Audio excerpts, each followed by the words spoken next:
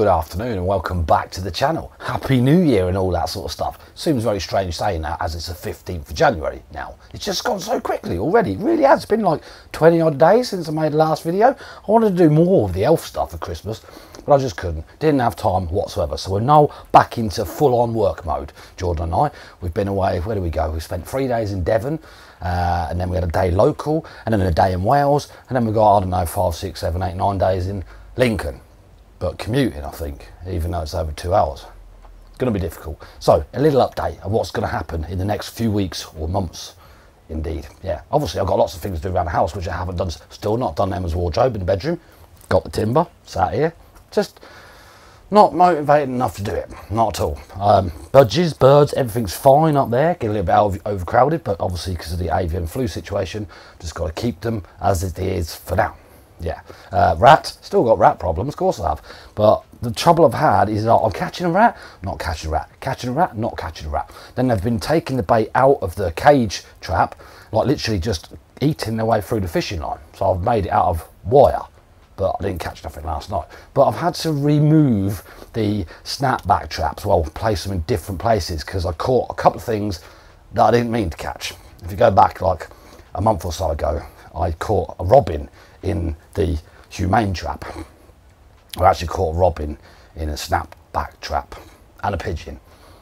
So I didn't want to catch them. But I'm still catching rats. I don't know why. Why did the robin want peanut butter anyway? I don't know. I don't know. Anyway, so yeah, I'm ongoing battle with the rat situation. That's not going to end anytime soon. But the main thing I want to talk about is I think this year I'm going to fire up the incubators. I don't know what to incubate, so help me out. I want to incubate some button quails definitely, because I want some females.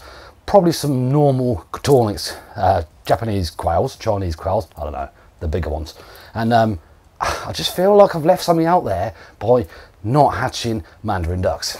So I really want to try mandarin ducks because I went for a walk over the aquadrome, walking around the lakes the other day with my AirPods in, and I spotted a pair of mandarins on the lake, and I was like, hmm, do I don't I? I just feel like I should I've done it, I want to do it in my homemade incubator. So what I'm going to do over the next couple of weeks or so, I'm going to get the Stellabator. I'm going to kind of pull it out, make sure everything's all still plugged in around the back of it, should be.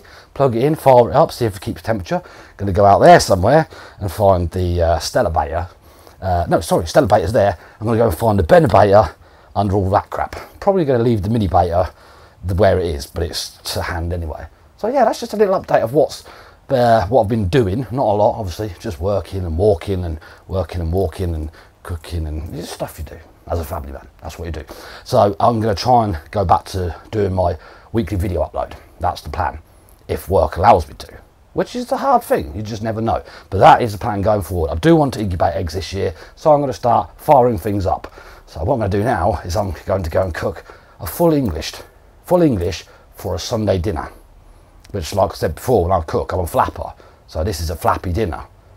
But I've got to do it because I have to, because it's Emma's birthday weekend. Emma and Georgia, Emma was whatever age she was, and Georgia was 15 yesterday. So Georgia's at work, Emma's reading books.